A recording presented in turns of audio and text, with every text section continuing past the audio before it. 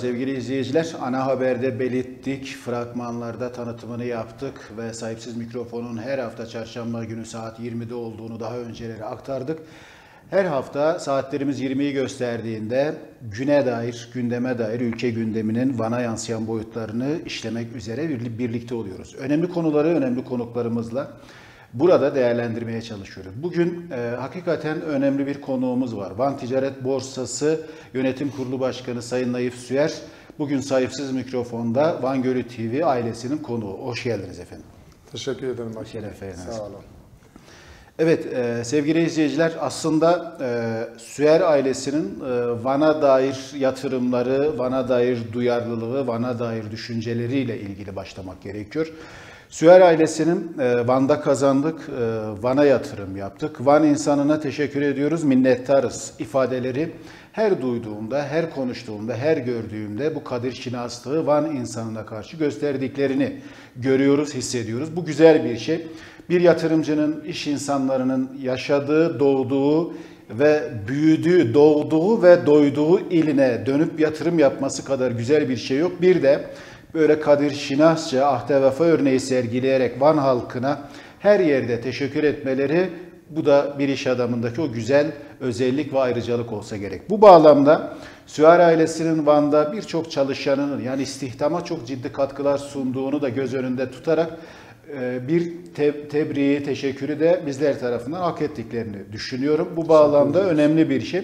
Biz de bugün ticaret borsasının çalışmalarını ele alacağız. Aslında ticaret borsası derken e, olaya çok e, pozitif yaklaşmak gerekiyor. Çok olumlu yaklaşmak gerekiyor. Şöyle ki 1992 yılları öncesinde Van'da hayvancılıkta ithalat ve ihracat boyutlarında Türkiye'ye örnek illerden biriydik. Dolayısıyla Van'ın aslında e, iki tane çok gelir kaynağının oluşması gereken unsurlar var. Biri turizm, diğeri tarım ve hayvancılık. Bu ikisini de bacasız fabrika olarak nitelendirilir genelde kamuoyunda.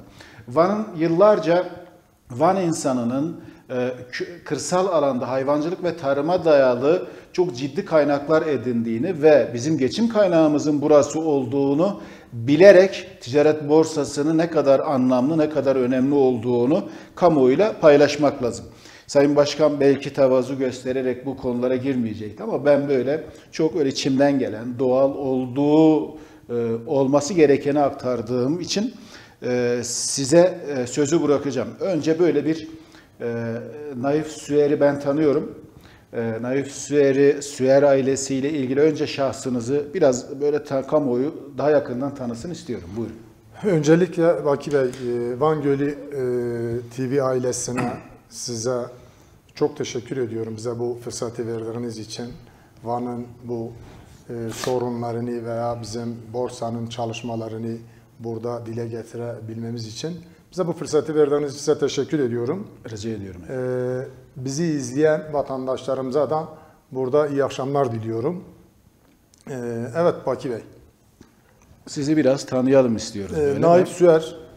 Evet. Van Ticaret Borsası Başkanıyım. Siz söylediniz zaten e, evet. Baki Bey. Ben tanıyorum. Böyle kamuoyu sizi e, aslen nerelisiniz, e, iş dünyasına nasıl girdiniz biraz böyle tanısın istiyorum. Ticaret borsası nereden aklınıza geldi? Gittiniz ticaret e, borsaya başkan adayı oldunuz. Bunlar önemli. Çünkü bunlarla ilgili kafamda da sorular var. Sizlerle paylaşacağız. Baki Bey biz Vanlıyız. Yani biz doğum yerimiz evet Van değil. Şırnak Sulopili doğumluyum ama biz bugün Van'ı değil Van'ın yerlisiyiz. Biz öyle bakıyoruz evet. kendimize. Çünkü neyle Van'a geldiğimizi biz hep söylüyoruz. Her zaman bunu dile getiriyoruz. Bunu çok iyi biliyoruz. Eğer bugün e, bu yerlere gelmişsek tabii ki bizim emeklerimiz, çalışmalarımız, çabalarımız var ama Vanlıların buna gerçekten çok çok katkıları, çok emekleri var.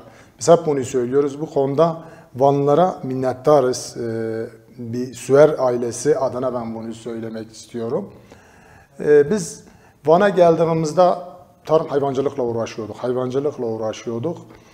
Ondan sonra biz 80'de biz Van'a geldik. Biz 80'de Van'a geldiğimizde hayvancılıkla uğraşıyorduk.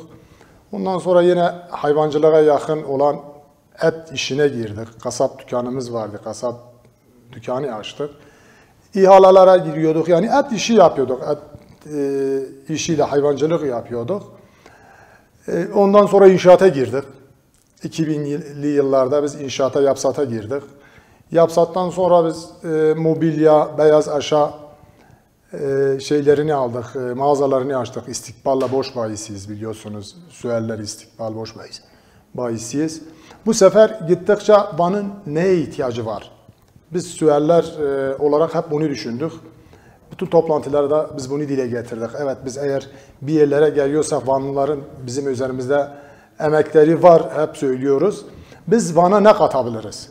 Evet, en önemlisi. Biz hiçbir zaman daha fazla para kazanalım düşüncesinde olmadık. Van'ın ihtiyacı nedir?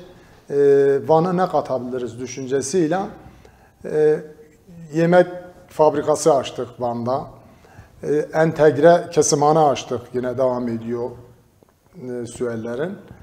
İlçelerde e, otel düşündük. Mesela bugün Saray'da evet çok güzel bir yollarımız var. İran'a kapımız var. Kapıköy'ü biliyorsunuz. Ama Saray'da insanlar geliyordular. Adamın arabası bozuldu veya adam gece dışarıda kaldı. Nerede kalacak? E, dışarıda kalıyordu veya bir insanın kapısını çalıp misafir olacaktı. Biz bu eksikleri gördük.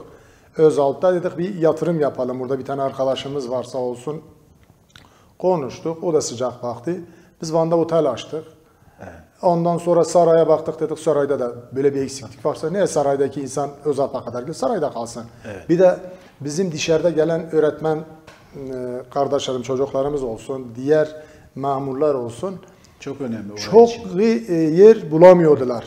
Özalp'ta olsun sarayda çok sıkıntıları vardı. Van'a gelip gidiyordular. Biliyorsunuz 60-70 kilometre kışın da çok zor şartlarda Van'a gelip gidiyordular. Biz dedik e, saraya da bir otel yapalım. Biz saraya da otel yaptık. Yavaş'ta da e, yine aynı e, şeyi gördük. Orada Yavaş çok güzel bir ilçemizdir biliyorsunuz. Aynen. E, ama insanlar Yavaş'ta kalamıyordular. Van'a geliyordular. Niye Yavaş'ta kalmasın? Adam dışarıda geldiği zaman bana gelmesin. Desin ben bu gece geç saatse ben e, Yavaş'ta kalayım. Sabah bana gideyim. Biz bu eksikleri gördük. Orada da bir yatırım yaptık. Orada da bir otel, çok güzel bir otel yaptık. Ee, işte dediğim gibi biz bu ilçelere, ilçelere yatırım, özellikle otel gibi bir yatırım yapmak çok risk ve ciddi bir risk göz önüne almışsınız. dediğim gibi biz dedim ya biz eğer e, bu parayı bu varlığı biz Van'da kazanmışsak bizim de bir yerde risk almamız lazım. Biz bu düşünceyle hep yola çıktık. Allah'a şükürler olsun e, sıkıntıyı da yaşamıyoruz. Evet belki çok para kazanmıyoruz. Para kazanmıyoruz. Para kazanma şeyine baksaydı bu riskleri biz farklı illerde, başka yerlerde alsaydık tabii ki biz daha iyi para kazanacaktık. Biz bunu biliyoruz, bilmiyoruz değil. Ama yok dedik. Biz eğer Van'da e, bunu kazanmışsak Van'a da bir katkımız olsun. E, Biz hep tercihimizi Van üzerinden yaptık. Hep yatırımlarımızı, risklerimizi Van'da e, alıyoruz, yapıyoruz yatırımlarımızı. Yine dediğim gibi hayvancılıkta biz hayvancılıktan hiç uzaklaşmadık. İnşaata girdik, mobilya girdik, diğer sektörlere girdik. Biz yine e, çok entegre iki tane güzel çiftlik yaptık. Gölpınar'la, Gavaş'la e, Edremit üçgeninde.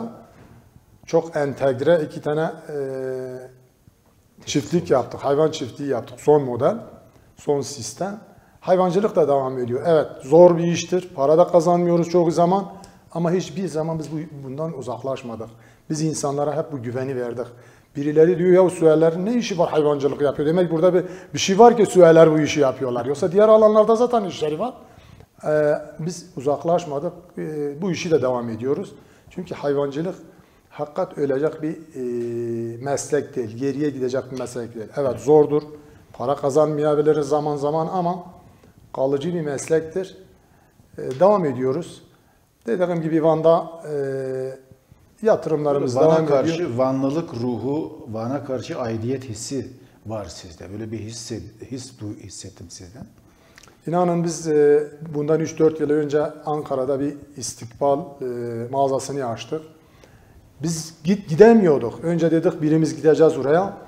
E, hiç kimse orada durmuyordu. En fazla 3-5 gün durabiliyorduk. En sonu kapattık. Dedik biz Van'ımıza gideceğiz. Biz Van'a gideceğiz. Evet Ankara tabii ki bizim başkentimiz. Güzel bir şehirdir. E, para kazanma şeyi de belki daha iyidir. Van'da çok daha iyidir. Ama biz yok dedik. Van'a gideceğiz. Bütün yatırımlarımız Van'dadır. Risk alıyoruz Van'da. İnşallah Allah bizi utandırmasın. Hmm, Devam ediyoruz. Devam da edeceğiz e, Bey. Evet. Şimdi ticaret borsasının çalışmalarını alacağız. Birçok vatandaşımız böyle özelden size başarılar dilemiş. Tebrik ediyorum demiş. Teşekkür ediyorum hepsine. Ee, Van'a yatırımı için teşekkür ederim özelde. Mesela e, hemen tanıdığınız belki bir isim. E, Diyadim Bey, Van Ticaret Bors Ticaret Odası Meclis Üyesi Diyadim Bey. e, başarılar diliyorum demiş. Diyadin Bey'e ben burada teşekkür ediyorum. çok Evet, sevdiğimiz bir kardeşimizdir. Evet, Onların da Van'a katkıları değerli, çok değerliler bizim için. Teşekkür ediyorum. Evet. İnanın Van'a ne yapsak azdır Baki Bey. Öyledir. Şehrimiz çok güzel. Van'ı sevmekle alakalı. Yani biz, bu biz hem seviyoruz. Van'ı hem insanımızı sevmekle alakalı bir durum. Bu güzel bir duygu. Yani bizim bu konuda en ufak bir sıkıntımız yok. Ne biz. Van'ımızı seviyoruz. Ee, inanın Vanlılar da bizi seviyorlar. Onun için biz bu kadar durabildik Van'da. Yoksa sevmeseydiler biz hep yani ekibe ekibi topladığımızda bunu söylüyoruz. Arkadaşlar bak gelen insanlara değer verin. Yoksa bu lambaların her bir tanesini gelen insanların bir tanesi bunu söndürebilir. Sö- e, Yani eğer bu aydınlığı e, şey devam etmek istiyorsanız gelen insanlara değer vermeniz lazım. O konuda e, Van'da yaşayan yani hep Vanlı diyoruz ya belki Vanlı olmayan e, diğer illerden de Van'da oturan insanlarımız var. Onlara da teşekkür ediyoruz. Biz. Vanlılık ruhu diyoruz ona. Aynen, Vanlılık aynen. bilinci. Bizim yani yok Van- Önemli olan bir insanın e, işte Vanlı, Hakkari, Şırnaklı değil, yaşadığı ile karşı aidiyet hissi taşımasıdır. Evet. Bir insanın böyle olması önemli. Yoksa e, bu ülke bizim. Ülkemizin her bir köşesinin biz sahibiyiz, ülkede bizim sahibimiz. Böyle değerlendirmek daha doğru olur. Evet. E, Sayın Süer isterseniz e, böyle ilk Vatpo'nun çalışmalarıyla başlayalım. E, süt projesiyle ilgili çeşitli zamanlarda açıklama yaptınız. E, bu konuyla ilgili e, güzel şeyler yapacağınızı söylediniz. Ne durumda? Baki Bey biz göreve geldiğimizde ekibimizle zaten ekibimiz yani bu işi bilen insanlardır. Yani ben seçime girdiğimde, listemi yaptığımda bu insan kimlerle çalışabilirim, kimlerle bana ne katabilirim. Böyle bir e, ekiple yola çıktık. İşi bilen insanlar, samimi olan insanlar. Ben burada sizin huzurunuzda hem meclisime hem yönetimime hem diğer arkadaşlarıma, ekibime hepsine ayrı ayrı teşekkür ediyorum. Gerçekten katkıları, destekleri çok çok oldu. Hep yanımdadılar. E, hep yani herkes bir köşeden tutuyor. Tek desem Naif Süer'in bu başarı eğer bir başarı varsa Naif Süer'in kesinlikle değil. Herkesin başarısı, emeği, e, katkısı ekip çalışması burada. diyorsunuz. Ekip çalışmasıdır bizim. Evet e, Vaki Bey. Biz süt yani göreve geldiğimizde baktık hayvancılık gittikçe geriye gidiyor. Biz dedik bunun bir araştırmasını yapalım, bir fizibilite çalışmasını yapalım. Bir sahaya indik.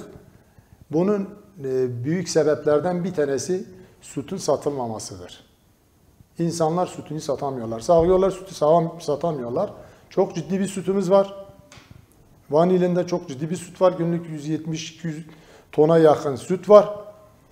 Ondan sonra ben şeyleri e, sütü satamıyoruz dediler. Ben de arkadaşları topladım. Dört tane meclis üyem işletme sahipleriydiler. Fabrika sahipleriydiler. Yani e, Gören Taş olsun, Sutkur olsun, e, Dönerdere olsun. Bunlar benim meclis üyelerim, yöneticilerimdir. Ben bu arkadaşları çağırdım, topladım. Dedim arkadaşlar e, siz sütü nerede alıyorsunuz, ne yapıyorsunuz, niye sütü Van'da almıyorsunuz? Dediler biz Van'da süt almıyoruz. Niye? Süt yok. Nasıl yok ya bizim çalışmalarımıza göre bu kadar e, yoğun bir süt var Van'da. 200 tona yakın sütümüz var. Sizin kapasiteleriniz ne kadardır? Toplasan hepsi belki 40-50 ton ya var ya yoktur hepsi. Yarım e, şeyle e, çalışıyorlar. Yarı kapasiteyle çalışıyorlar. Peki sütü nerede alıyorsunuz? Valla biz biri Iğdır'da alıyor diyor. Bir iki tanesi Urfa'da dedi alıyoruz. Peki niye Van'da almıyorsunuz? Başka biz kaliteli süt bulamıyoruz. Biz sütü topluyoruz köylerde. Fabrikaya getirdiğimizde süt bozuluyor. Onun için biz de gidiyoruz dışarıda e, sütü alıyoruz. Niye bozuluyor? Soğuk zincir olmadığı için. Soğuk zincir olmadığı için insanlar sütü sadıkları gibi biz sütleri topluyoruz bir köyden. Süt bozuluyor. Biz de e, sahaya indik. Dedik böyle bir nasıl bir çalışma yapabiliriz? Soğuk zincir e, çalışmasını nasıl yapabiliriz? Biz e, şeye gittik. Biz e, ekiple beraber Türkiye'nin çoğu illerine gittik. İlk Konya'dan başladık. Karaman'a gittik, Afyon'a gittik, Antalya. Yani çoğu illere gittik. Biz bunun araştırmasını yaptık. Evet demek burada bir e, boşluk var, burada bir sıkıntı var. İnsanlar sütü sağıyorlar, satamıyorlar, mecbur kalıyor. Bu sefer hayvanları satmaya başladı. Bir ihtiyaçları için bir iki tane hayvan bırakıyorlar. Biz de dedik böyle bir proje yapalım. Ee, biz bu projesini projeye e, dönüştürdük.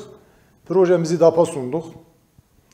Ee, tarımımızla beraber, tarım iliyle beraber biz borsalar olarak, o da borsalar bu desteklerden faydalanamıyoruz. Yani bir kurumla beraber başvurmamız lazım. Evet bu bizim bir e, şeyimizdir. Ben hep bunu dile getiriyorum. Bu e, desteklerden hem odalar hem borsalar hem diğer STK'lar da faydalansın. Hep dile getiriyorum. Tarımla beraber biz tarım il müdürümüzle beraber DAP'a başvurduk. Sağ olsun İbrahim Bey desteği çok oldu. Burada sizin huzurunuzda teşekkür ediyorum kendilerine. DAP'a başvurduk. Bir buçuk milyon hibe alındı. Tarımın hesabına bir buçuk milyon hibe onaylandı. Tarım bunun ihalesini yaptı. 50 tane tank, 3 tane de araç. Evet. 50 tane soğutucu tank, 3 tane de yine soğutucu e, araçlarla, soğuk e, hava depolu araçlarla biz bunları ihalede alındı şeyde e, tarım bunları aldı. Geçen hafta biz bunları devraldık. Aldı bunları biz borsa olarak bunları devraldık. Şimdi 50 tane tankla 3 tane aracımız hazırdır. Biz bunları almışız. Saha çalışmasını şimdi yapıyoruz. Çiftçilerimizle görüşüyoruz. Dedik ki bir sağlıklı bir saha çalışmasını yapalım. İşi yapan, işi isteyen, e, evet bu işi yapabilecek olan insanlar kimlerdir? Biz bu soğutucu tankları bu çiftçilere vereceğiz. Bedelsiz vereceğiz bunlara. İnsanlar sütlerini sağacaklar. Bu tanklara aktarırlar. Dişeriyi görmeden, bozulmadan, sıcaklığı görmeden, e, kalitesi düşmeden bu tanklara aktarırlar. Biz de soğutucu araçlarımızla yine borsa yüzde yüz e, borsanın olduğu bir şirket kurduk. Bu şirketle biz bu sütleri toplayacağız bu araçlarla getirip işletmelerimize vereceğiz. Süt fabrikalarına vereceğiz bu sütü. Çiftçinin muhatabı Van Ticaret Borsası'dır. Herhangi bir şahıs, herhangi bir şirket, herhangi bir kişi değil. Çok güzel. Yani direkt Bunu, bunu güven açısından söylüyorsunuz Evet. değil mi? Evet. Yani e, dediğim gibi bizim çok e, sütümüz var ama bu sütte ne çiftçi faydalanıyordu, ne fabrika sahipleri faydalanıyordu, ne de vatandaşımız faydalanıyordu. Yani tüketici de faydalanamıyordu çünkü kaliteli bir ürün alamıyorduk. Kayıt dışı zaten devlet hiçbir şekilde bundan hiç e, faydalanamıyordu. Hiç, hepsi kayıt dışıydı. Şimdiye kadar hepsi kayıt dışıdır. Biz bu e, amaçla yola çıktık. Allah'ın izniyle yakın bir zamanda biz bu tanklarımızı e, çiftçilerimize bırakacağız. Bu sütü toplayacağız. Kayıt altına alacağız. Bir de soğutulmadan yani soğuk zinciri olmadan çiftçi desteklerden de faydalanamıyor. Devlet süte destek veriyor. Yalnız soğuk zincir olmadığı için bizim çiftçilerin yüzde biri bile faydalanamıyor. Bundan faydalanamıyor. Kayıt altına zaten hiç alamıyoruz borsa olarak. Biz inşallah e, dediğim gibi birinci etap bitti. Yakın bir zamanda başlıyoruz. Bundan 15 gün önce ikinci etap için bir proje yaptık. Yine e, Tarım İl Müdürümüzle beraber bir araya geldik. İkinci etap için dedik biz bir çalışma yapalım. Projemizi tekrar e, DAP'a sunalım. Projemizi hazırladık. İkinci etap için de biz DAP'a sunduk. Yine 5 araç, 75 tane tank, ee, inşallah 3 tane ilçede daha e, biz bunu da eğer onaylansa biz bunu da Allah'ın izniyle kısa bir zamanda e, başlayacağız. Evet, biraz e, ekonomik getirilerinin eğer bu çalışmalar yapılırsa fazla olacağını ifade ediyorsunuz. Bunun çiftçiye, ticaret borsasına gelir kaynağı oluşturacaksınız. E, Ticaret borsaları biliyorsunuz yani para kazanma yeri değil, ticaret yapma Sadece, yeri. e, Bizim hizmettir.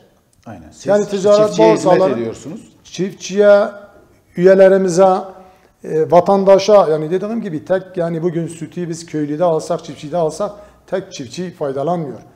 Tüketici de aynı zamanda kaliteli bir ürün alır. Van'daki ürünler niye olmasın? Bir de yüksek fiyat yerine hem sağlam hem de e, ekonomik süt sahibi oluyor. Araştırmalarımıza göre bugün her bir bölgede 2-3 tane insan faydalanıyor. Onun dışında ne çiftçi faydalanıyor, ne tüketici faydalanıyor, ne fabrika sahipleri faydalanıyor, ne devlet faydalanıyor. Evet. Bunun önüne geçmek için Bunun önüne geçmek için "Aa, biz bunlara karşı bu işi yapıyoruz değil. Ama yanlış bir yoldur. İnsanlarımız eğer 20 tane e, hayvan kapasitesi varsa adamın e, işletmesi bugün niye iki hayvan olsun işletmede? Niye 20'ye olma, 20 tane olmasın veya niye 50'ye çıkmasın? Biz bu düşünceyle yola çıktık. Allah'ın izniyle dediğim gibi o 20 başlık işletmeler inşallah onları 50'ye çıkaracaklar. E, Bizim düşüncemiz budur. evet. Bey. Hemen e, diğer bir konuyu size sorayım. Canlı hayvan borsasından biz ne anlamalıyız? Siz devraldınız orayı. Nasıl işletiyorsunuz? Canlı hayvan e, borsasını da biraz bize açarsanız sevinirim. Canlı hayvan borsası yine e, Tabii sizler konuşurken arkadaşlarımız da e, görüntüleri ekrana yansıtıyorlar. Hem sizin konuşmalarınız üzerine e, dönüyor onlar. E, daha kamuoyunda izleyicilerimiz için daha kolay anla, sizin anlattıklarınız izleyicilerimiz tarafından daha rahat takip edesin diye. Buyurun. Evet.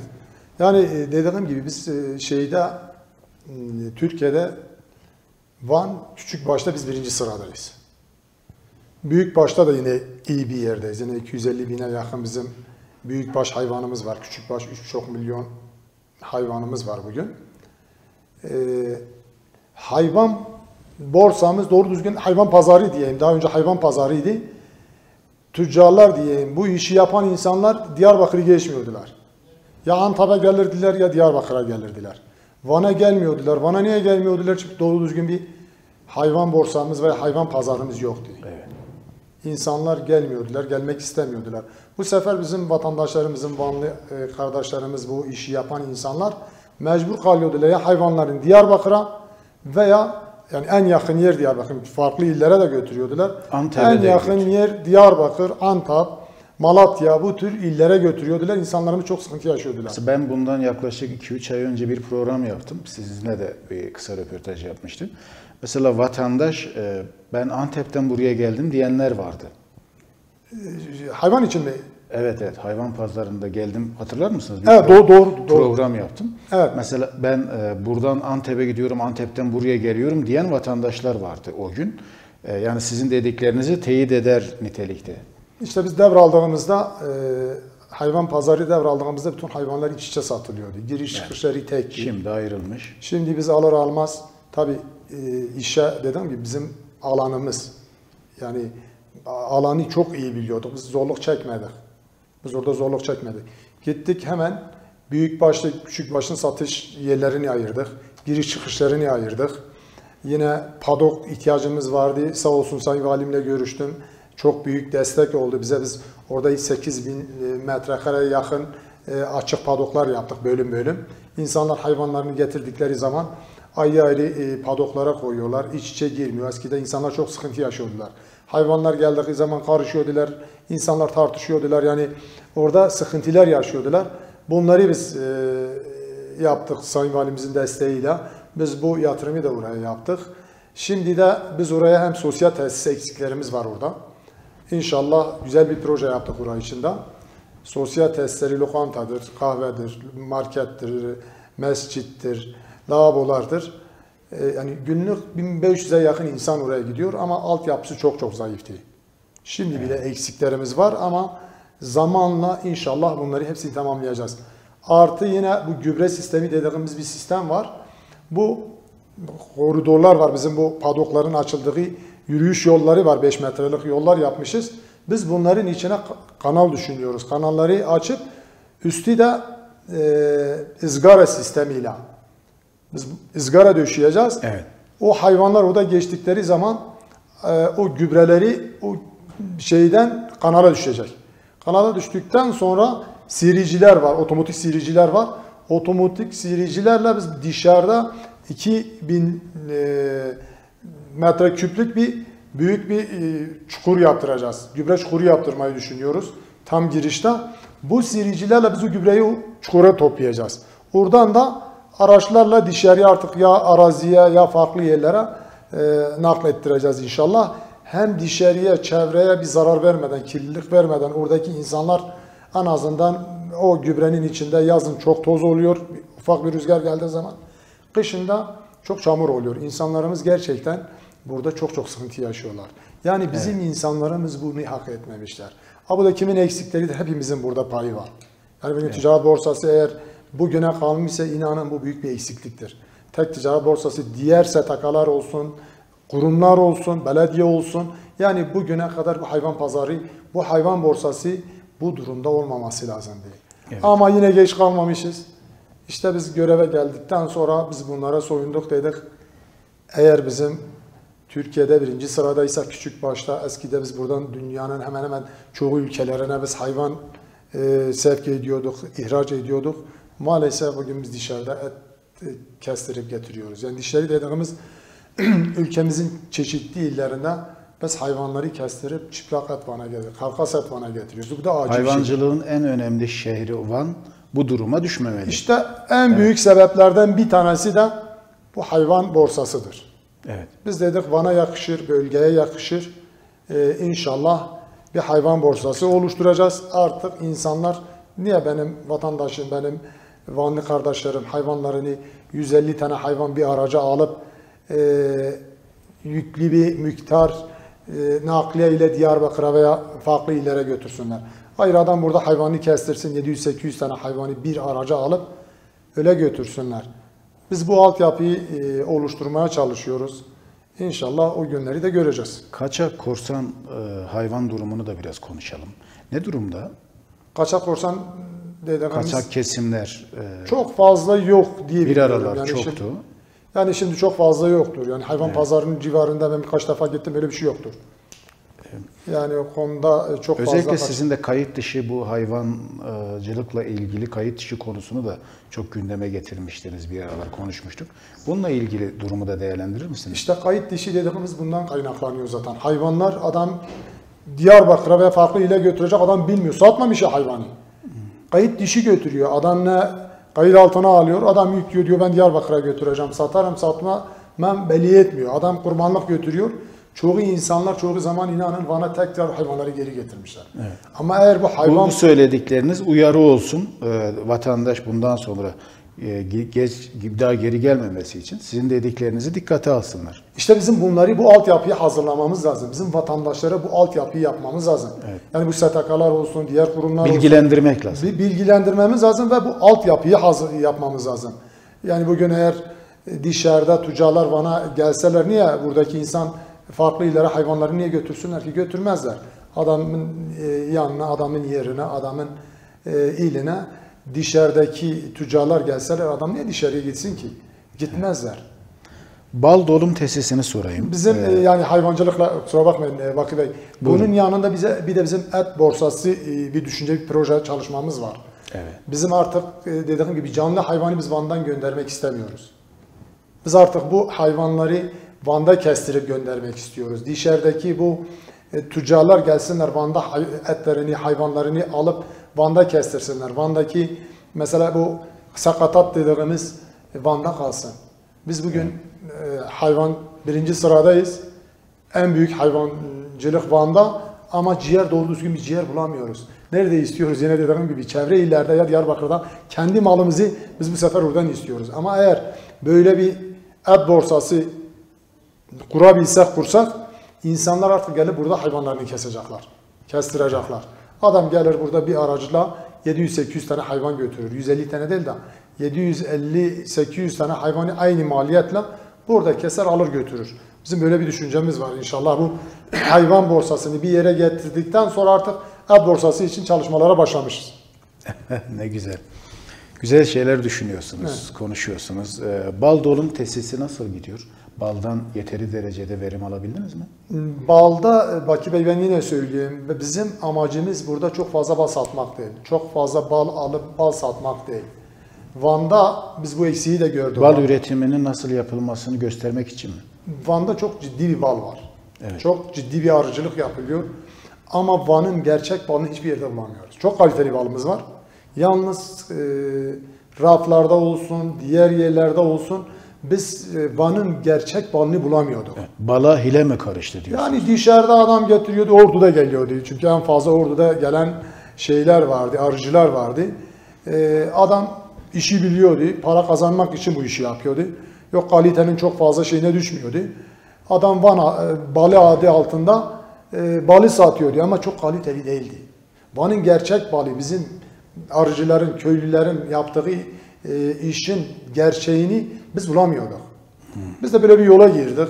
Bal birlikleriyle beraber. Biz dedik balın gerçek balını biz insanlara tanıtacağız. Niye yoktu? Çünkü markamız yoktu. Marka yoktu. Van'da bir doğru düzgün bir markamız yoktu. Biz böyle bir yola girdik. Biz çift yani arıcılardan balı topluyoruz. Analizini yaptırıp markalaştırıp e, paketleyip e, inşallah piyasaya sunacağız. Sunduk bir iki pa- parti sunduk. Çok kaliteli balımız var. Ama dediğim gibi bizim amacımız çok fazla bal e, satmak, para kazanmak değil. Yani borsanın görevi de bu değil. Borsanın görevi insanlara destek olmaktır. Bu işi yapan insanları bilinçlendirmektir. Destek olmaktır. Memnunuz. Siz de bunu yapıyorsunuz. Yapıyoruz evet. Evet, dilerseniz e, Van ürünlerinin coğrafi işaretleri başvurusuyla ilgili Erciş üzümünü yaptınız ama genel olarak neleri hedefliyorsunuz? Van ürün, hangi ürünleri e, baz aldınız? Yani bizim Van'da e, tek bir tane ürün değil, bir sürü ürünlerimiz var. Yani ben burada çok fazla isimleri vermek istemiyorum. Yalnız biz birkaç Kop- tanesine, kopya mı aldılar? birkaç tanesine başvurmuşuz. Evet, Erciş üzümünü aldık. Erciş üzümü biliyorsunuz. 3000 yıla dayanan bir geçmişi var. Evet. Ama kimse bilmiyordu, tanımıyordu doğru düzgün insanlar. Biz bu eksiği de gördük. Onun için başvurduk. E, tescillendi. Bizim e, bir markamız var. Bir e, ürünümüz gerçekten değerinde. İnsanlar artık tanıyorlar, tanırlar. Diğer ürünlerimiz için de e, biz başvurmuşuz. İnşallah onları da yakın zamanda e, inşallah alacağız. Evet. Sayın Başkan kopya vermediniz. E, tabii haklısınız. Ben çok fazla Hani bir üst- şey üst- şeyde olmadan üstelemeyeyim. Yok doğru yapıyorsunuz. Ben üstelemeyeyim. Şey sorayım ben e, böyle bu bağlamda az önce e, konuştuklarınız bağlamda Van'ın tarım ve hayvancılık sorunları sizce nelerdir? Yani tarım hayvancılığı, yani hayvancılık dediğimizde en büyük sorun tarımdır. Tarımın olduğu bir yerde hayvancılık yapılır. Zaten Van'da çok zor şartlarda hayvancılık yapılıyor. Kışı biliyorsunuz normal diğer illere göre biz burada 7-8 ay içeride hayvan besliyoruz. Hatta bazı ilçelerimiz daha fazla. 2 aydan fazladır bazı ilçelerde bazı e, köylerde insanları e, insanlar hayvanları içeri almışlar. içeride besliyorlar. Bu da çok ciddi bir maliyettir. Kesinlikle. Bu çok ciddi bir maliyettir. Ha bu neyle olur? Tarımla olur hayvancılık. Bizim tarımda e, ilde gerçekten biz bu durumda sıkıntı yaşıyoruz. Nasıl yaşıyoruz? İklimden dolayı biz iki yılda bir ürün alabiliyoruz. Bu aldığımız ürünü de çok sağlıklı bir ürün alamıyoruz. Arpa ekiyoruz. e, bir dönümde en fazla 200 kilo alabiliyoruz. Ama diğer illerde, farklı bölgelerde iki ürün alıyorlar. Yılda iki ürün ekiyorlar. Her bir ürüne de en az 500-600 kilo alıyorlar. Yani arpa ekseler 500-600 kilo arpa alıyorlar. İkinci bir ürün daha ekiyorlar. Ya mısır ekiyorlar ya farklı bir şey ekiyorlar. İklimden dolayı e, biz sıkıntı yaşıyoruz. Onlar devletten iki tane destek alıyorlar. Biz de yarım destek alıyoruz. Niye? iki yılda bir ekiyoruz ya. Yarım destek alabiliyoruz. Onun için bu ilde e, hayvancılık yapmak çok zordur. Bir de e, mera alanlarının yeteri Bizim- derecede Yani e, burada çağrım şudur. E, bu tarımı biraz daha biz pozitif bir destek istiyoruz. Özellikle Van için.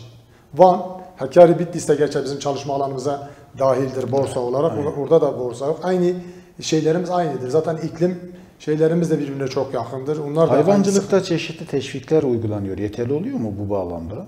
Yani teşvikler var, destekler var ama e, bizim bölgemiz için yeterli değil. Özellikle tarımda biz farklı e, pozitif bir destek istiyoruz. Eğer tarım güçlense hayvancılık da bu bölgede güçlenir. E, Biz tarımla ilgili e, özellikle Van, Hakkari, Bitlis için e, ek bir e, destek istiyoruz, pozitif bir destek istiyoruz. Evet. Bu mera e, alanlarının yeteri derecede ıslahıyla ilgili konuşalım isterseniz. Nedir durumu? E, ıslah yapılıyor mu mera İşte- alanlarının? Sizin işte tarım hayvancılığının en büyük sorunları derken önce tarımın ıslah edilmesi önerisinde bulunuyorsunuz. E, ıslah edilmiyor. Islah edilmiyor. Bu konudaki En öneriniz büyük, En nedir? büyük sıkıntımız zaten Bu. e, hayvancılığın dedim ya tarım yani merada tarıma bağlıdır. Tarım bilinçsiz e, şey mera bilinçsiz e, kullanılıyor. Nasıl bilinçsiz kullanılıyor? İlkbaharın biliyorsunuz toprak çok hamdır. Yani ot daha çıkmadan, olgunlaşmadan insanlar hayvanlarını salıyorlar. Bu sefer o toprak çamurken, hamken e, hayvan o toprağı sıkıştırıyor, bırakmıyor e, bitki çıksın. Zarar veriyor. Yani e, e, en az o bitkinin belli bir aşamaya gelmeden hayvanı e, salmamaları lazımdır. Hayvanı bırakmamaları lazımdır. Artı yine merada kapasite diyelim bir e, mera veya bir yaylada 2000 hayvanlık bir e, kapasitesi var. 5000 10000 tane hayvan o meraya bırakıyoruz. 5000 tane hayvan olduğu zaman bu sefer bu bitkinin kökünü neredeyse çıkarıyorlar. Bu da çok büyük bir zarardır. Yani bu mera ıslahı çok önemli bir şeydir. Bu çok acilen eğer yapılmasa gittikçe bu ilde, e, bu bölgede hayvancılık geriye gidecektir. Hayvancılık alanına yatır, yapılan yatırımları da bu bağlamda yeterli bulmuyorsunuz değil mi? Yatırımlar var. Yani takadaka olsun, e, kırsal kalkınma olsun, tarımın destekleri çok ciddi destekler var. Yani yüzde 60-70'lere varan hibe destekleri var. Çok güzel desteklerdir. Ama engel, Yalnız- en büyük engel nedir? En büyük engel e, şeydir, altyapıdır. Altyapı adam kırsalda zaten kırsalda Altyapıdan hayvancılık. Altyapıda büyük şehiriz e, biliyorsunuz. Köylüde, kırsalda da biz ruhsat parasını veriyoruz. Şimdi bir e, e, parası Mesut aldım. Mesut Irmak Bey kardeşimiz, e, bu da eski meslektaşlarımızdan biri kardeşimiz. Şu anda e, e, Fidanlık Mahallesi'nin muhtarı kendisi. Bir şey sormuş. E, Sayın Başkan'a selamlar demiş. Teşekkür ederim. E, merkez mahallelerde hala irili ufaklı hayvancılık yapılıyor ve kent estetiğini ciddi anlamda bozuyor. Bunlarla ilgili bir kooperatif düşünceleri var mı, yapılamaz mı? Diyorsunuz, e, gerçi Van Büyükşehir Belediyesi bu e, şehir merkezindeki ahırların yıkımı kaldırılması için gereken çok ciddi bir çalışma yaptı. Kamuoyuna büyük alkış topladı. Ama hala da olduğunu söylüyor Mesut Bey. Yani geç kalınmış e, bir şeydi. Geç kalınmış bir şeydi. Yalnız bu 20 yıl önce yapılması lazımdı. 20 yıl önce yapılsaydı bir de altyapısı tabii ki yapılması lazımdı. Altyapısı derken bugün merkezde bu işi yapan insanlar küçük ölçekli, %80-90'ı küçük ölçekli yapıyordu bu işi. Bunu hem merkeze yakın hem merkezin dışında yani şehre yoğunluk getirmeyecek yerlerde bu dağlık olan yerlerde şehre yakın yerlerde küçük küçük ahırlar yapılabilirdi. Tabii ki bu 20 yıl önceden bahsediyorum. 20 yıl önce eğer böyle bir şey başlasaydılar bugün bu sıkıntıları yaşamazdı. 10 tane veya 5 tane hayvani olan adam 40 kilometre ve 20 kilometre gidip yatırım yapamıyor. Zaten böyle bir gücü de yoktur. Ama eğer böyle küçük küçük ahırlar yapsa, yapılsaydı kooperatif şekli, insanların 5 tane hayvani olsaydı sabah gider hayvanların bakımlarını yapardı, akşam evine dönerdi hayvanlarını oraya artık oradaki görevlilere, bekçilere teslim edip evlerine dönebilirdiler. Yani 5 tane hayvani olan inanın 5-6 tane nüfusa bakıyordular merkezdeyken. Aynen. Ama şimdi bu insanların çoğu hayvancılıktan uzaklaştılar. Evet geç kalınmış bir karardı. Yani normalde büyük şehiriz merkezde hayvancılık yapılmaması lazım. Çok güzel bir e, karardı. Destekledik baştan beri bugün de destekliyoruz.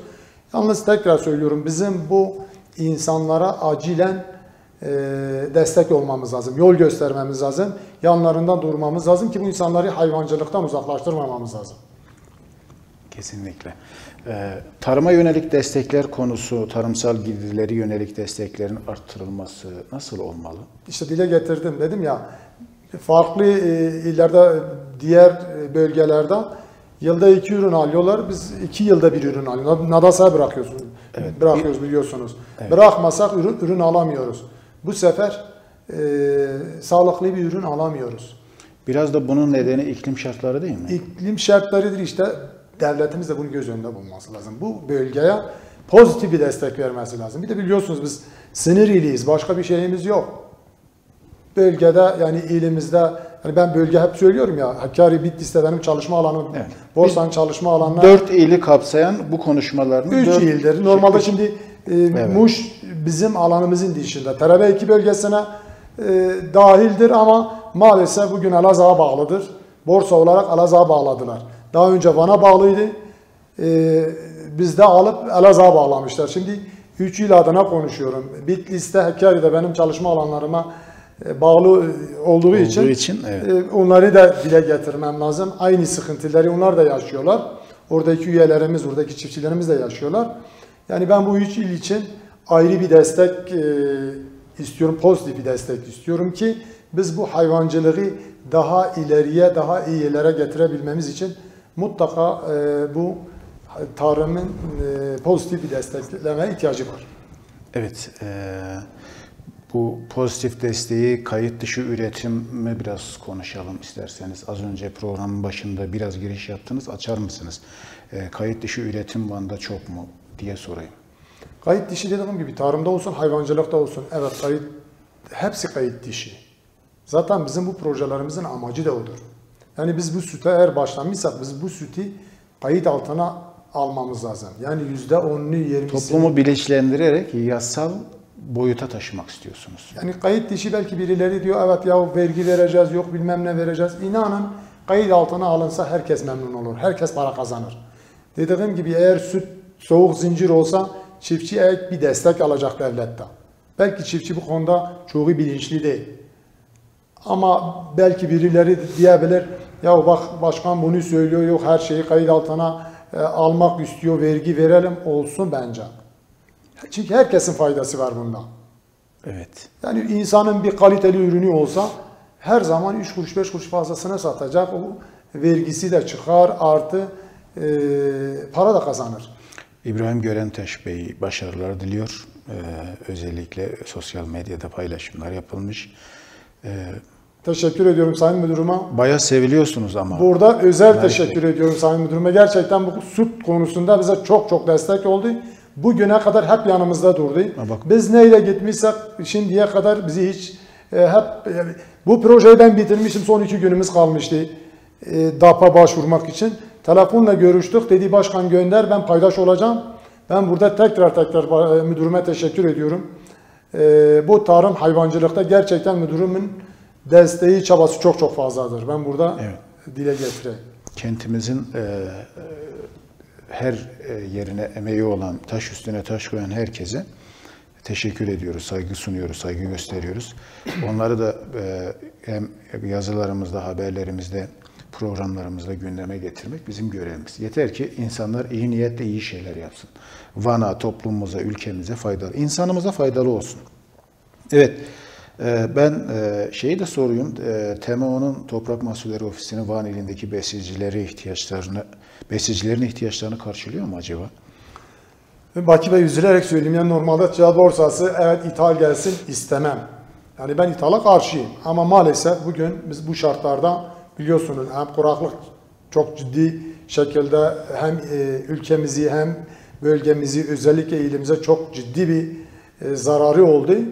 Yoksa normalde bir ticaret borsası ithal gelsin, ithal arpa gelsin, çiftçilerimize verelim. Tabii ki keşke bugün bu günleri yaşamasaydık.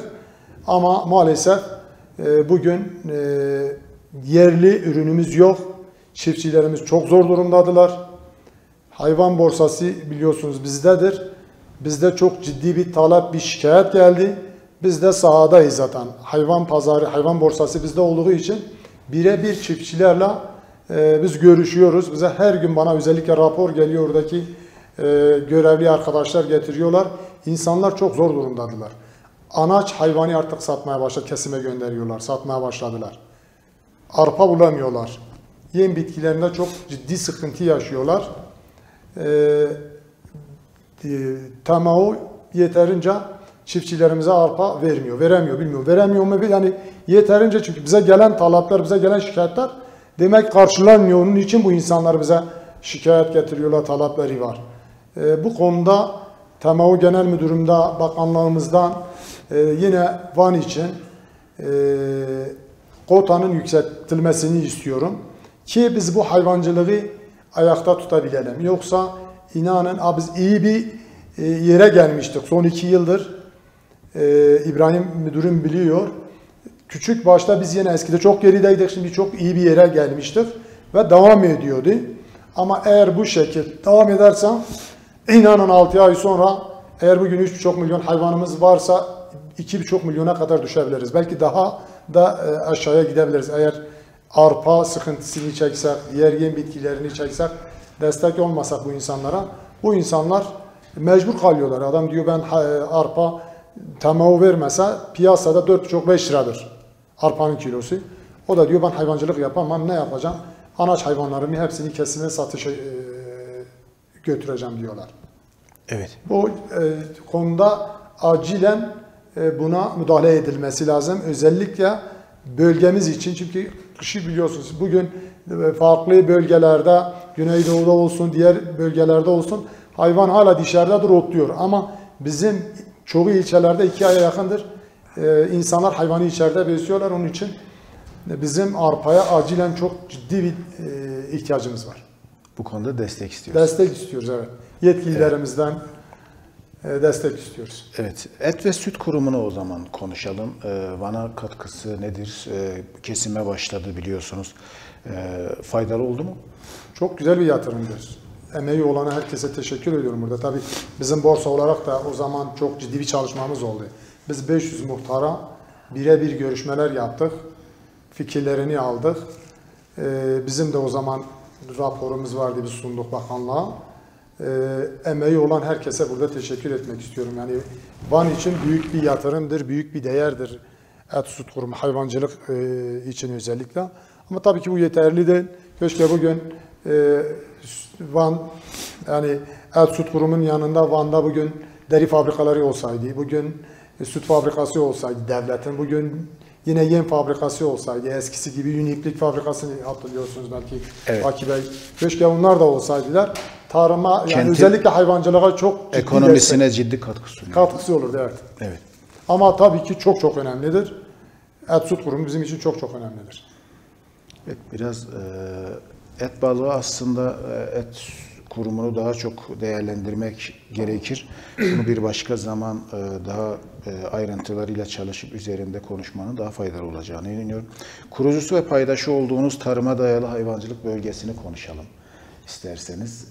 Ne durumda e, OSB diyoruz ona. Evet, tarım Ben de yani bu- hayvancılık ben de, ben de buna yeni hakim oldum siz sizinle konuşurken. Evet, buyurun.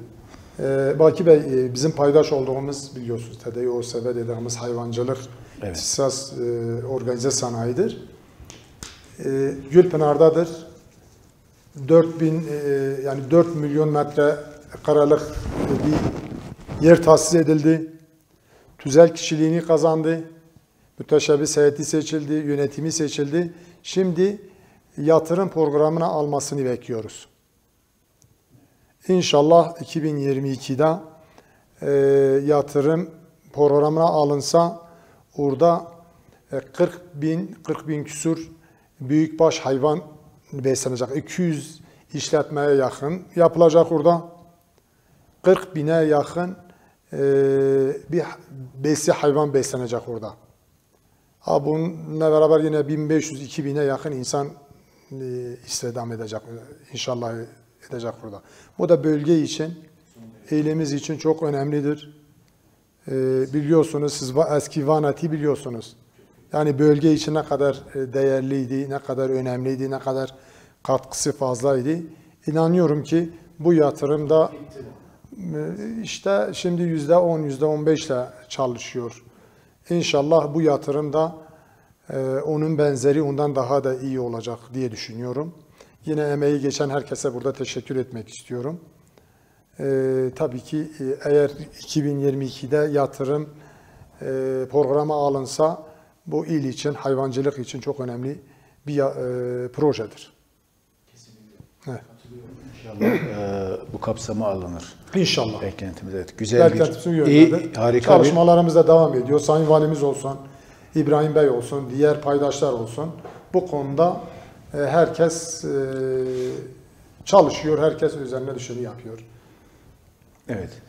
Ee, sürekli Van Şırnak Karayolu'nun açılmasını dile getiriyorsunuz. Bu yol açılırsa bana ne faydası olur? Bana ne faydası olur dedim ya biz sinir. Evet. Biz kapalı kutuyuz. Yani başka diyecek hiçbir şeyimiz yok. Onun için pazarımız çok dar. Yani hayvan tarımda olsun, hayvancılıkta olsun, diğer üretimlerde olsun biz ürettiğimiz hiçbir şeyi satamıyoruz. İşte hayvandan bahsettim. Canlı hayvan buradan Diyarbakır'a götürdüğümüzde yine en yakın yer olduğu için hep Diyarbakır söylüyorum. Bir araç maliyeti ee, yani 10 binden aşağı değildi. Bir insan veya iki insan o araçla gitseydi o adamın gideri en az 10 bindi. Evet. Yok yani bizim pazarımız olmadığı için eğer bu yol açılırsa Kuzey Irak'ı biliyorsunuz çok ciddi bir e, potansiyel bir pazar var ama biz Van olarak bundan faydalanamıyoruz. Biz Van olarak bundan hiçbir şekilde faydalanamıyoruz. Niye? 700 kilometreye yakın e, bir yol var. Batman üzeri gittiğimizde. Öyle biliyorsunuz kış şartları mesela çok kötüdür. Buradan Balaban'a, e, Bitlis'e kadar çok kötüdür. İnsanlar e, Van'ı tercih etmiyorlar. Ya Diyarbakır, ya Antep, ya Batman, ya Mardin. Oralarda alışverişlerini veya mallarını orada alıyorlar. Ve oradaki insanlar kendi ürünlerini oraya ihraç ediyorlar. Biz bu konuda hiç faydalanamıyoruz. Eğer bu yol açılırsa 700 kilometreye yakın olan yol 230-240 kilometreye düşüyor. Kesinlikle. Yani 6 saatlik yolu biz 2 saat, 2,5 saatte inşallah e, Habur kapısına gideceğiz. Ve tek bu buradaki yani ürünler için değil, ürettiğimiz şeyler için değil. Oradaki insanlar mesela e, turistler geliyorlar. Ne nereye geliyor? Ya Trabzon'a gidiyor, ya Antalya'ya gidiyor. Ama iklimi Irak'a göre mesela ora çok sıcaktır. Buranınsa çok serindir. Kültür olarak da oradaki insanlarla kültürümüz aynıdır. Çoğu Birbirine çok herkes çoğu akrabalık şeyleri de var. Ama nedir? Yol uzak olduğu için, ters olduğu için sapa oluyor. İnsanlar da bu sefer burayı tercih etmiyor. Adam geliyor Diyarbakır'a kadar diyor valla ben Van'a dönmeyeceğim. Antalya'ya gideceğim. Evet. E, farklı illere gideceğim. Eğer bu yol açılırsa e, Habur'la Karadeniz'i inşallah birbirine bağlayacak bir yol olacak. Tabii ki bölgemiz, özellikle ilimiz bundan çok faydalanacak.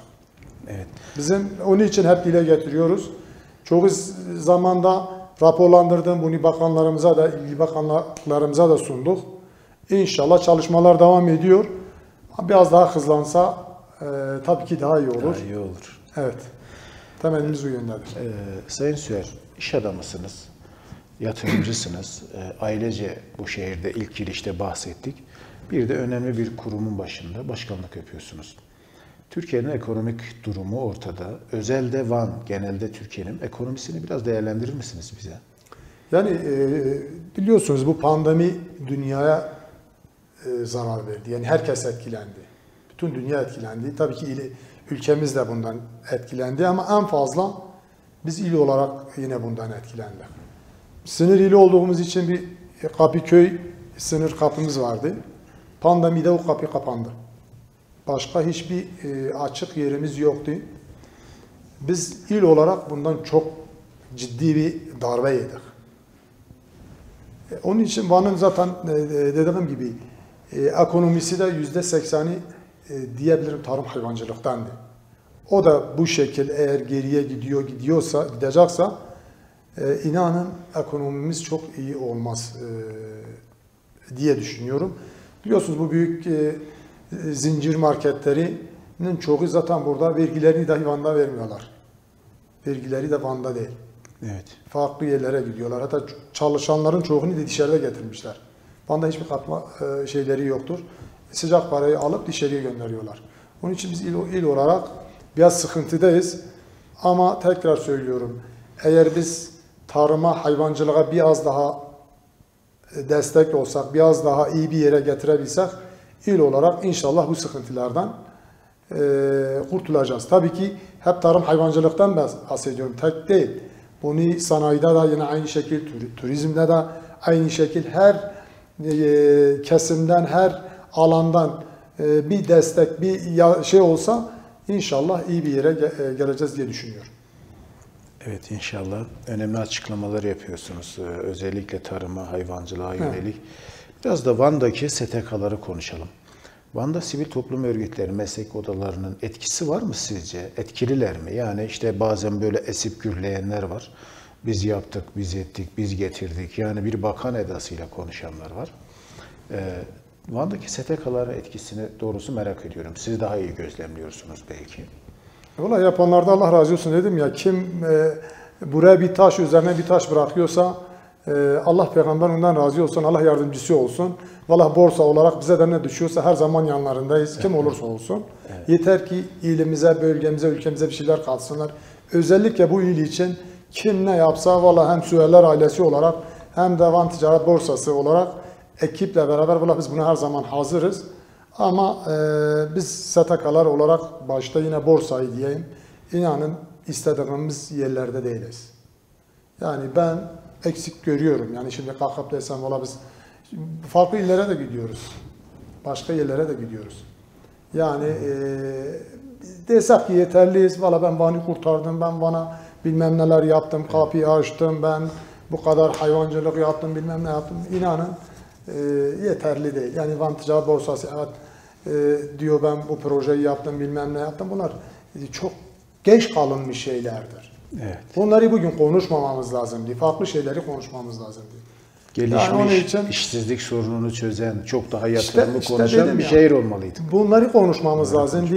Başta yine söyleyeyim, ticaret borsası olarak ben bu yüz eleştiriyi vereyim. İnanın e, Van'ın hak ettiği yerde değiliz ve e, bu şeyi vermemişiz. Ben bu eksiği Evet. görüyorum, bilmiyorum. Ha birileri farklı düşünüyorsa tabii ki saygım var. Herkesin düşüncesi, herkesin şeyi ayrıdır. Ama borsa olarak ben bu eksikleri alanda olduğum için bir de çoğu sektörlerde olduğum için bu eksikleri her tarafta da hissediyorum. STK seçimleri konuşuluyor. Biraz erken konuşulmaya başlandı. Meslek odalarının seçimleri var. E, Nasıl görüyorsunuz süreci? Van'da sivil toplum örgütleri yavaş yavaş böyle gizli arka kapıda gizli bir seçim çalışmaları var. Hatta hummalı bir çalışma var. Nasıl değerlendiriyorsunuz? Yo, güzeldir, çalışmalar güzeldir. Ee, Böyle insanlar çıkıp yani en azından her bir e, şeye bir iki üç tane adayı çıkması lazım. Tüm kurumlar için ben bunu söylüyorum, STK'lar için bunu söylüyorum. Ama onun dışında e, herkese de başarılar diliyorum. Yani biz e, borsa olarak dediğim gibi biz çok işin içinde değiliz. Olmamız da doğru değil. Yani hiçbir STK, hiçbir STK'nın işine karışmaması lazım. Benim bir oyun varsa, bir odaya üyeysem e, gidip ya oyumu ya veya hiç gitmemem lazım. Veya gidip oyumu bir, bir, e, sene e, kullanıp öyle çıkmamız lazım. Yoksa gidip o çalışmalarına, o alanlarına karışmak çok doğru değil. Bu da bizim ilimize zarar veriyor. Zaten en büyük sıkıntımız budur Van'da. Baki ve siz bu işleri çok iyi biliyorsunuz. Bunu söylememe gerek yok. Herkes herkesin işine karışıyor diyor. Karışmamamız lazım. Evet. Yani nerede karışmamız lazım? Destek olmamız lazım. Biri bir iş yaptığı zaman desteğe ihtiyacı varsa Van için bizim bunu yapmamız lazım. Ama bir seçimde bir derneğin, bir e, odanın, bir borsanın veya farklı bir kurumun seçimi olduğu zaman bu çok doğru bir şey değil. Çünkü hepimiz yarın böyle bir masanın etrafında oturacağız. Bu il için konuşacağız. Biz o zaman birbirimizin yüzüne nasıl bakacağız? Biz o zaman nasıl çalışacağız? Nasıl güveneceğiz birbirimize? Onun için STK'lar kim olursa olsun tabii ki bizim için çok değerlidirler STK'lar. Aday olan arkadaşlar da hepsi de bizim için bu ilin insanlarıdır. Çok değerli, çok önemlidirler. Hepsine de başarılar diliyorum. Borsa olarak hiçbir şekilde e, ben ve Bu dahil olmayacağım. Kesinlikle. Bu işin içinde olmayacağız. Hakkımız buna hakkımız yok. Buna hakkımız yok. Biz Van'a bu zararı veremeyiz. Biz ekip olarak bu bizim düşüncemizdir. Ee, kesinlikle bizim dahil olmayacağız. İnanın e, seçimleri ne zamandır çoğunu da bilmiyorum. Evet. Ee, Şimdi de herkese başarılar diliyorum. Kim kazanır? relax, relax Kim duruyorsunuz böyle. Kim gelse Van için geliyor. Ee, kim kazansa Van kazanır. İnşallah işi bilen insanlar, erbapları gelirler. Bizim için bu önemlidir, bu değerlidir. Ticaret borsasının seçimleri ne zaman? Bizim bir yıla yakın kalmış. Daha var değil mi? Bir yıl gibi bir şey. Tekrar e, devam etmeyi düşünecek misiniz? Valla daha şimdi bir şey desem daha erkendir. Dediğim gibi bizim projelerimiz var. Çalışıyoruz Baki Bey. Şimdi İnan- çalışmayı Bizim düşün- daha bir yıl çok erken bizim için. Aa, yeni adaylar çıksa onlar için belki erken olmayabilir. Ama bizim için daha erken zaten biz e, şeydeyiz, işin başındayız. Evet. E, onun için bizim seçimle de işimizle uğraşmamız lazım. Yani siz e, değerleri ön planda tutuyorsunuz. Yani onu onu hissettim. Gerçeği nur, yani böyle olması lazım. Vicdanımız varsa böyle olması lazımdır. Evet. Eğer bir koltuk için çalışacaksak bu doğru bir şey değil.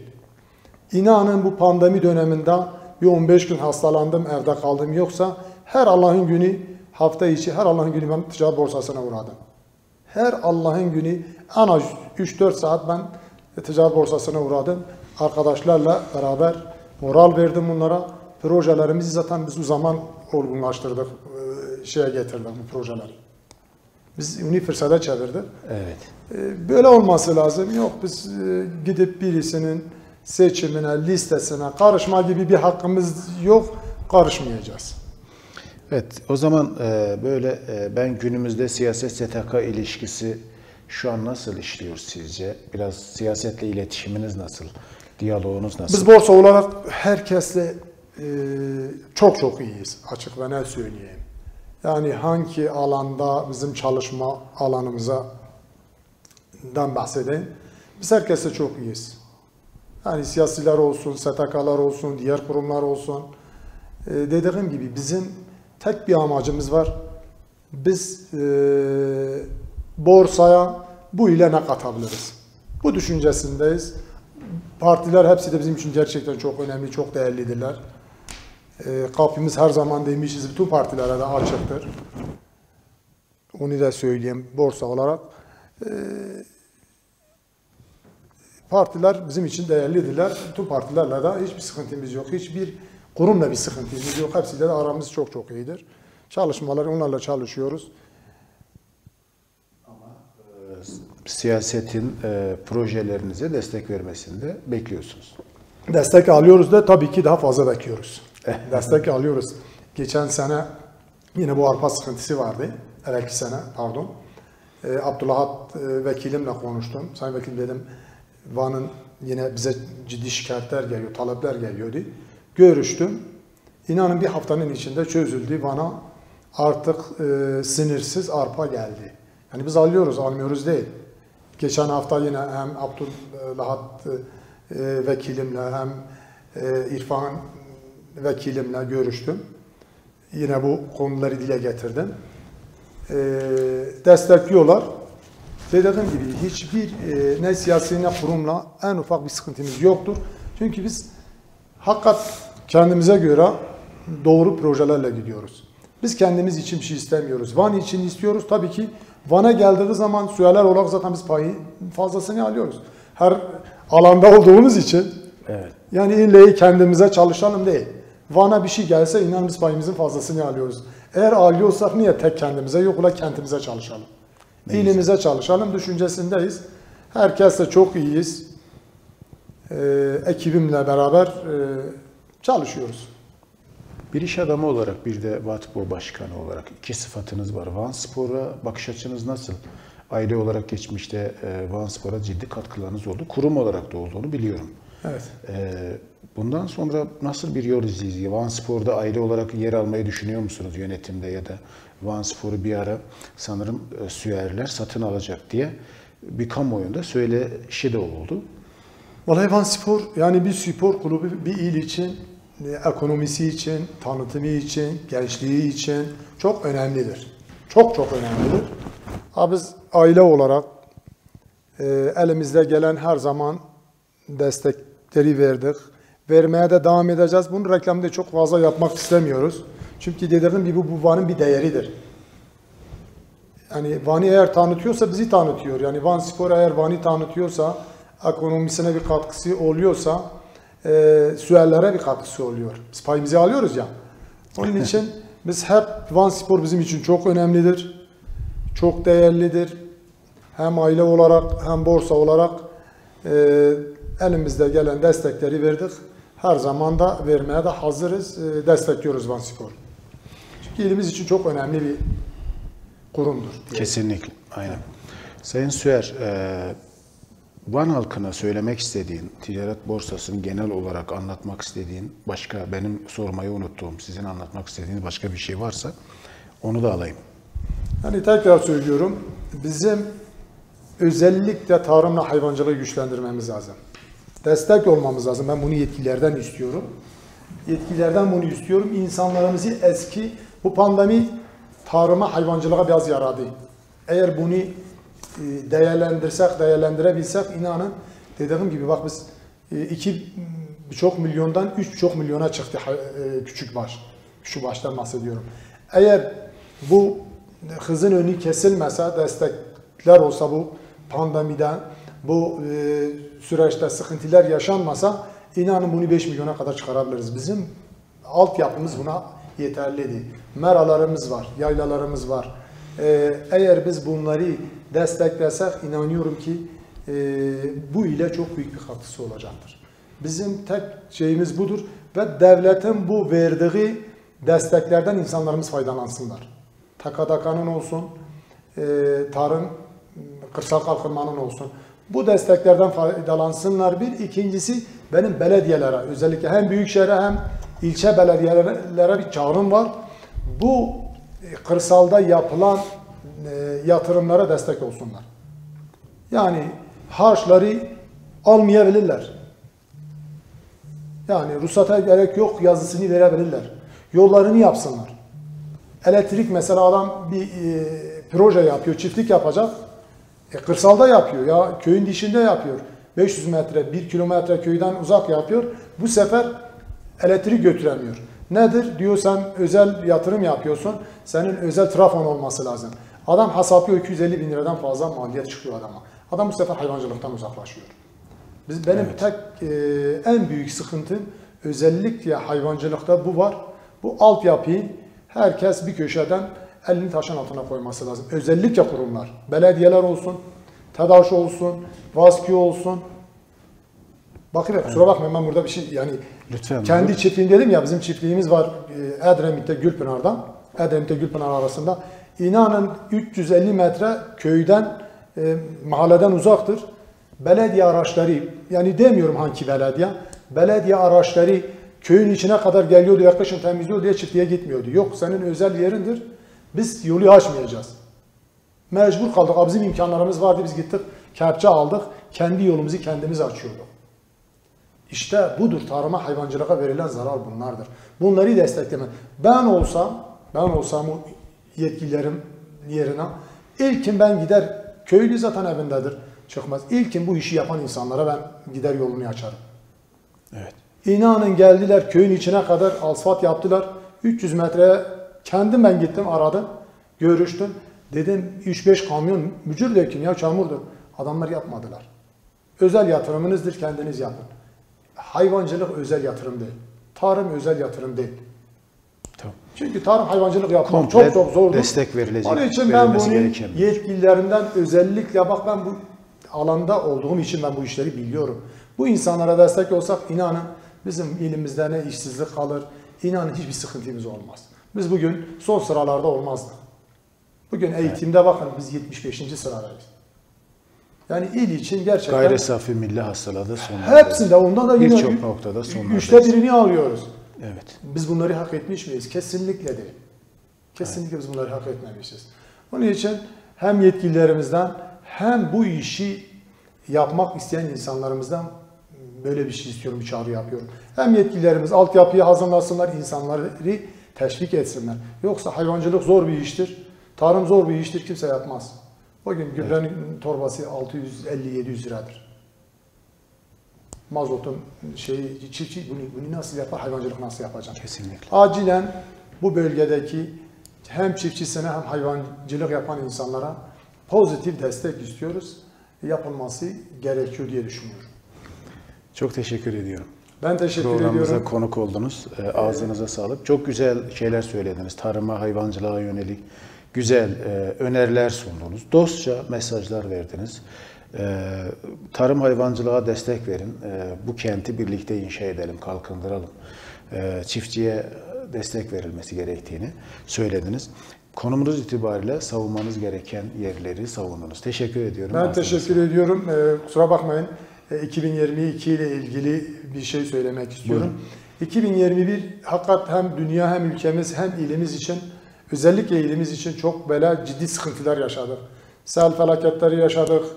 E, çığ felaketleri yaşadık. Depremler yaşadık. Pandemi yani biz il olarak hakikat bundan çok ciddi sıkıntılar e, yaşadık. İnşallah hem dünya hem ülkemiz hem ilimiz artık bu şeyleri görmeyecek. 2022 inşallah iyi bir yıl olacak hem ülkemiz için hem ilimiz için. Ee, İnşallah. Temennimiz budur. Evet, ben de teşekkür ediyorum. Düşüncelerinize katılıyorum. Çok sağ olun. Allah razı olsun. Teşekkür Teşekkürler, çok sağ olun. Sevgili izleyiciler, e, konuğumuz Ticaret Borsası Yönetim Kurulu Başkanı Sayın Naif Süer'di. Sahipsiz mikrofonu burada noktaladık. Çok önemli konulara tarım hayvancılıkla ilgili değindi Sayın Süer. Haftaya yine sahipsiz mikrofonda yine önemli konuları konuklarımızla işlemeye çalışacağız. Hepinize iyi akşamlar diliyorum.